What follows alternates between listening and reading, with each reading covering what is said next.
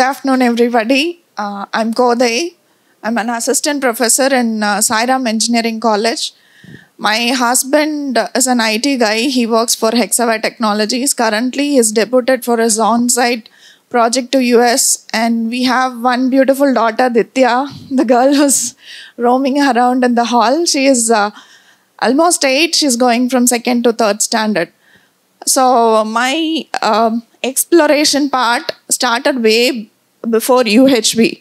Whereas after coming to UHV, I'm getting to know what are the reasons behind the things that is happening previously.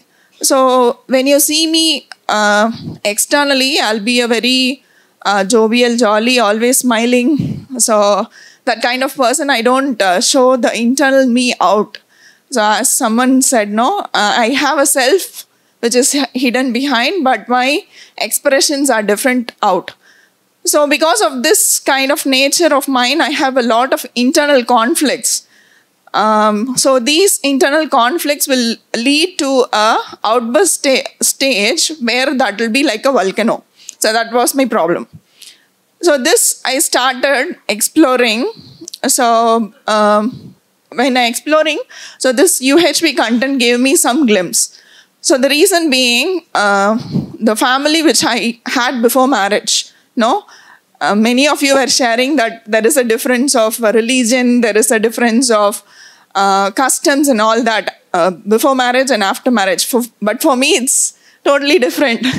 so the uh, parents, the family which I belong before marriage, my uh, grandfather, my father, were all related to self. After going through this content, I could relate. So every one of us were giving only importance to the self. Whereas the uh, family which I'm married to, they are very much related to the body. So that's the conflict I'm facing. So from the beginning, they are the family which I'm married to, they are very supportive in all terms. I don't have any opposition. They uh, have only one son, that's my husband. So I'm literally their daughter.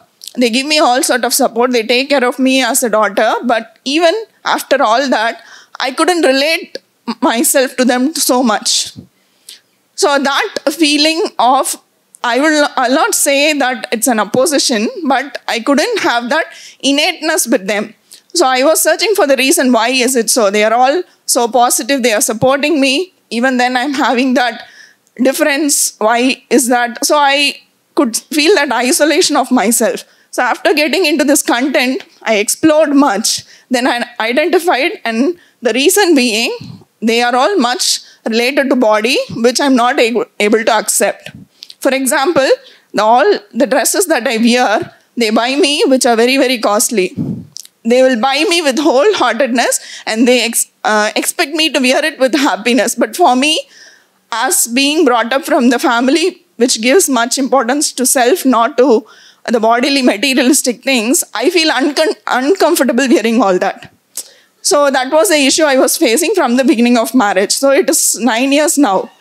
Now I learned, now I've been understanding that they are just uh, giving importance to materialistic things. So as we know self, we have to try to accustom the things and we have to make them understand which is more important. So that is what is the understanding and exploration and contemplation of a relationship. Next is the shift that I have is that because of my inner conflicts, I was in a stage where, again, I could relate to uh, someone. I was in a, a, stage where I should run out of my house. I couldn't manage my in, internal conflicts. I couldn't say it out. I couldn't share it out because people couldn't relate me what I'm going through.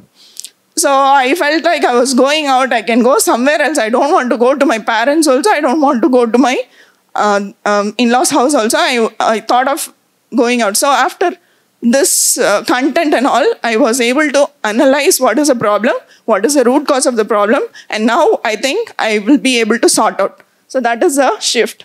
And future plans and commitments. So specific plan is that I, uh, which I identify yesterday. So the exercise that they gave us, no, exercise one and exercise two. Initially, I had a problem observing myself.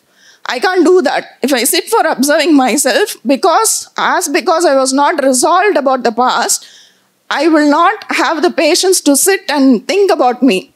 I wanted myself to engage with something so that I don't have that pause of analyzing the self.